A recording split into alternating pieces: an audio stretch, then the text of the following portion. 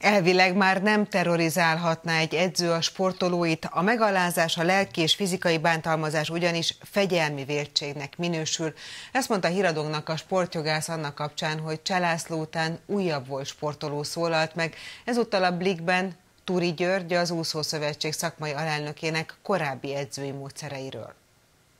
Az eredmény nem szentesíti azt, hogy, hogy tönkre tegyünk embereket testileg, lelkileg. Korábbi edzőjétől elszenvedett lelkisérülésekről nyilatkozott így Cselászló, a már visszavonult olimpikon úszó legenda Kadarkai Endre Szavakon túl című műsorában. Szerintem nagyon sok ember ö, úgy hagyta abban mondjuk az úszást, hogy azért komoly, komoly traumákat okozott neki a, ez az úszósport, és ennek nem lenne szabad megtörténni. Kis Noémival megtörtént, abba is hagyta a versenyszerű úszást.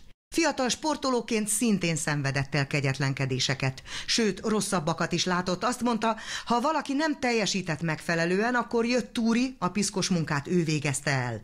Az is előfordult, hogy berángatott egy fiút a WC-be, majd ott agyba főbe verte.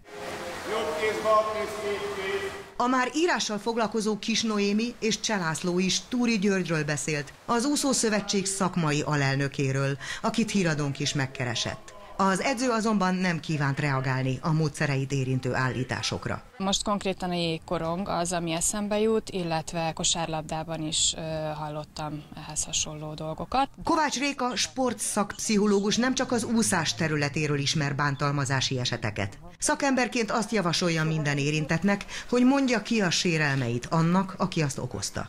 Beszélni kell róla, az mindenképpen, és jobb, hogyha a, akár ha arra van lehetőség, akkor az edzőjével is ezt megbeszélni felnőtt korban, hogy fel tudja ezt dolgozni. A sporttörvény egyébként már előírja minden sportági szakszövetségnek, hogy alkosson gyermekvédelmi és etikai szabályzatot. Ez szerint nem csak a lelki és fizikai terror tilos, hanem a sportoló megalázása is. Az edzőnek tilos visszaélni a tekintélyével, tilos mindenfajta szóbeli és fizikai bántalmazás, és amennyiben ilyen eset előfordul az úszósportban, abban az esetben kötelesek ezt jelezni egy úgynevezett gyermekvédelmi felelősnek. Az elkövetett túlkapások fegyelmi védségnek minősülnek, amelyek azonban három éven belül elévülnek. Kisnoémi híradónknak azt mondta, kész arra, hogy egy hosszabb szakmai beszélgetés keretében megvitassa az élsportban korán sem ritka edzői visszaéléseket.